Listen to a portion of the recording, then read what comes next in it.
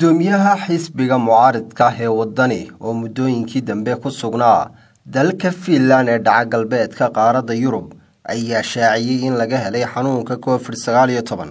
War qoraal ah oo uu goordhoweyd soo dhigay bartiisa facebook ayaa uu ku sheegay mudane cabdiraxmaan ero in baadhisuu maray lagu xaqiijiyey inuu hayo xanuunka covid sagaal toban balse xaaladiisa caafimaad ay aada u wanaagsan tahay waxaana uu intaasi raaciyey in dhakhtarku uu kula teliyey inuu muddo toddoba cisho ah uu ku sugnaado guriga isla markaana uu si iskii ah isku karantiilo.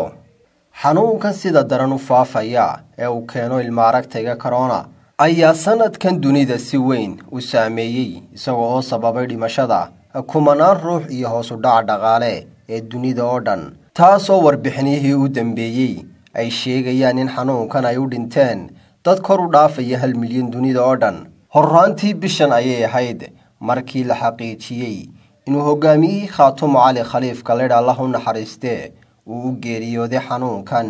Ma aha uun mas'uulkan balse mas'uuliyiin badan iyo dad kale oo magac weyn ku lahaa. Bulshada soomaaliyeed ayaa intii lagu guda jiray sanadkan u geeriyooday xanuunka. Xilligan oo ay dunida ka jiraan kala wareega xilliga oo ay bilaabmayso xilliyadii qaboobaha ee sanadka ayaa la dareemayaa in xanuunkani uu dib u soo labakacleeyey oo mawjadiisii labaad ay bilaabantay. Khadiir qowdhameh codka bariga afrika. Hadal. Oo hadal. Oo ku hadal. Bishii oo dhan. Toddoba dollar.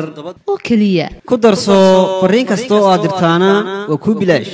isticmaal shabakadda ugu ballaadhan geeyiga somalilan haddaba si aad ugu shubato adeega kaafiye fadlan garaac xidig siddeed eber siddeed afargees ama xidig laba eber laba afargees tayo!